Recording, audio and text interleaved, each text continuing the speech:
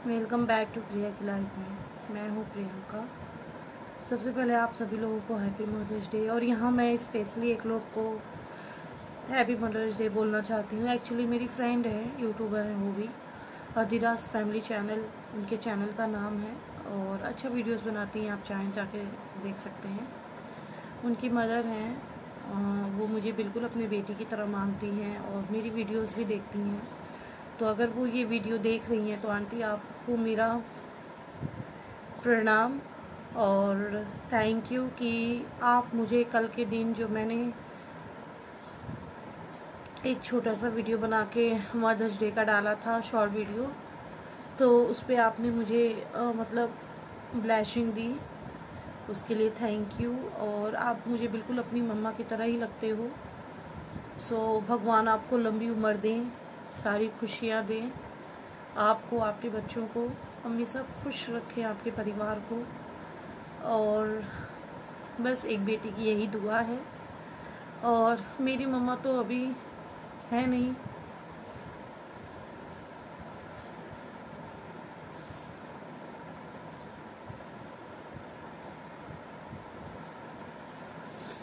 मेरी मम्मा तो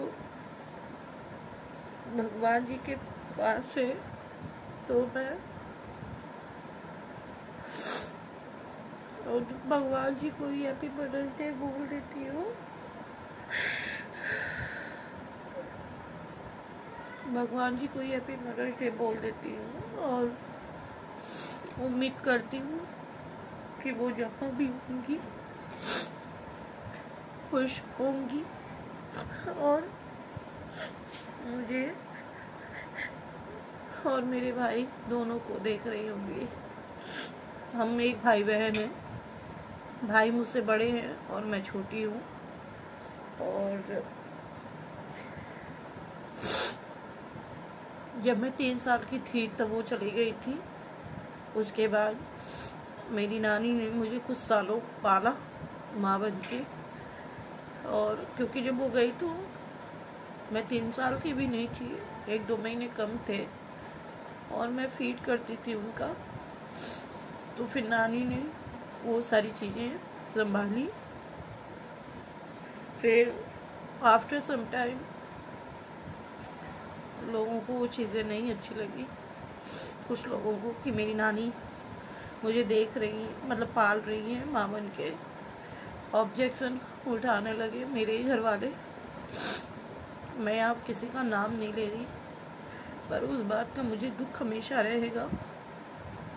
फिर मैं दादी के यहाँ चली आई। मेरा बर्थ पैलेस कैलकटा है। मेरी नानी भी कैलकटा में रहती थी क्योंकि मेरी मम्मी भी कैलकटा में ही पढ़ी थी। उनकी शादी नानी ने ऐसे करा था, गाँव में ही करा था बट कैलकटा में रहे, इस तरीके से करा था तो हम, मेरा बर्थ मतलब जन्म वहीं पे हुआ था। तो फिर मेरे भाई को मेरा तो फिर मेरे जन्म के तीन साल की नहीं थी तब मम्मी की डेथ हुई तो नानी ने पाला पोसा, हम वहीं पे थे, कलकत्ता में ही मम्मी की डेथ हुई मस्तिष्क ज्वर से। और बहुत कुछ है आप लोगों से कहने के लिए, लेकिन मैं इस मोमेंट पे नहीं कहना चाहती, वो नेगेटिव बातें। तो फिर उसके बाद मैं दादी के यहाँ चली आई थी, दादी के यहाँ पली बड़ी। मैं ये सब इसलिए बता रही हूँ क्योंकि बहुत सारे लोग पूछते हैं, जैसे कल मैंने वीडियोस डाला तो उस पर मैंने व्हाट्सएप, इंस्टाग्राम सब जगह शेयर किया था। तो बहुत सारे लोग पूछ रहे थे मुझसे। तो मैंने सोचा ठीक है, बता देती हूँ। तो फिर पहले तो जब नानी ने मुझे पाला तो मुझे इतना नहीं लगता था। माँ की कमी नहीं करती थी। जब तक नानी थे तो मुझे नहीं लगता था, क्योंकि मैं एक पूरा मम्मी की तरह ही वो रखते थे। पता नहीं मम्मी से ज़्यादा ही करते थे। माँ का तो प्यार कैसा होता है मुझे नहीं पता। बट वो तो बहुत ज़्यादा प्यार करते थे। और जब मेरी शादी होने वाली थी 2009 मई में तो मेरी नानी की भी डेथ हो गई 2009 के फरवरी मंथ में। मेरी शादी में नहीं आ सकी। और मैं सोचती थी कि जब मेरी शादी हो जाएगी तो मैं नानी जिस के पास रहने जाऊँगी, अपने हस्बैंड को बोल के। लेकिन वो दिन भी नहीं आया। शादी होने के पहले, तीन महीने पहले ही वो एक्सपायर हो गए। और उसके एक साल बाद नाना जी भी एक्सपायर हो गए। तो अब कोई भी नहीं है, नानी नाना। ऐसा कोई भी नहीं है जिससे मैं के कुछ भी बोल सकूँ, कह सकूँ।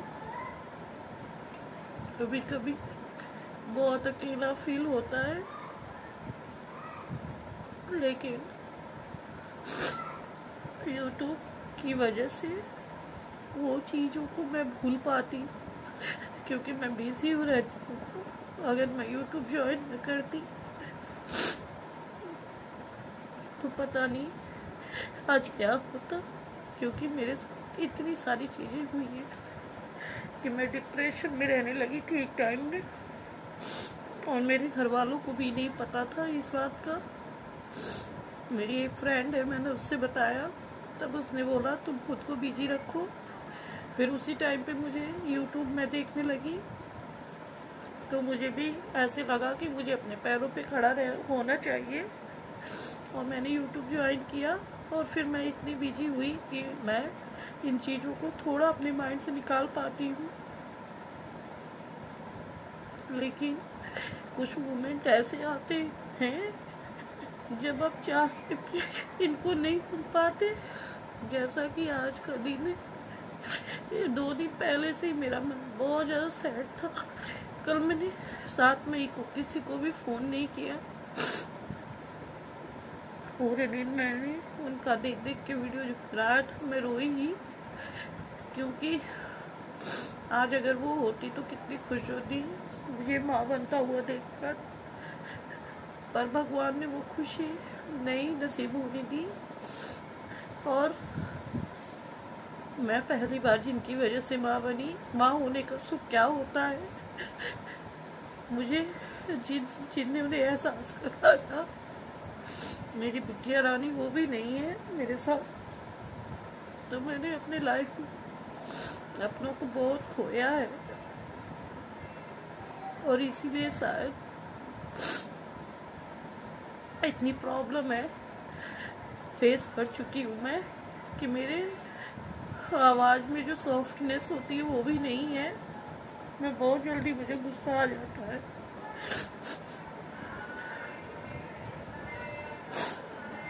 लेकिन मेरी स्थिति सिचुएशन को सामने वाला क्या जाने, जो वो मुझे समझेगा। खैर।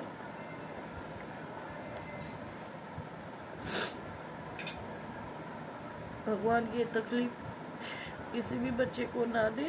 इस टाइम पे तो बिल्कुल ना दे। कम से कम अपने माँ बाप का कुछ प्यार समझ ले, जान ले, रह ले। साथ तब चाहे दे। क्योंकि सभी को पता है, एक दिन जाना ही है सबको। लेकिन एक टाइम होता है जाने का। ऐसा नहीं होता है कि इंसान की लाइफ शुरू हो और खत, शुरू होने से पहले ही ख़त्म हो जाए।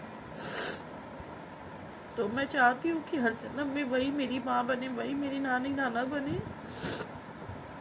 लेकिन जैसे इस बार वो छोड़ के चली गई, ऐसे ना जाए।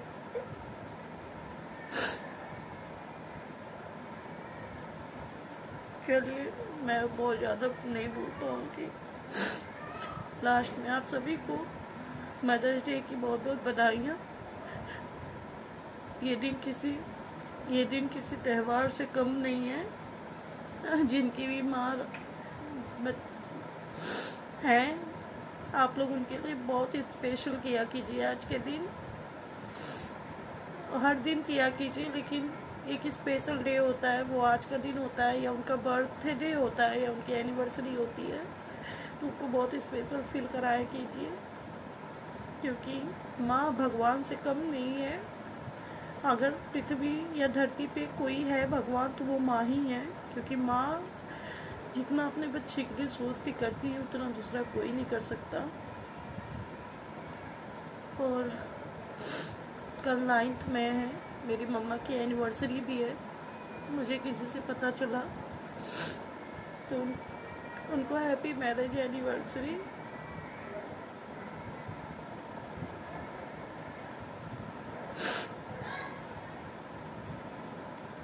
बाय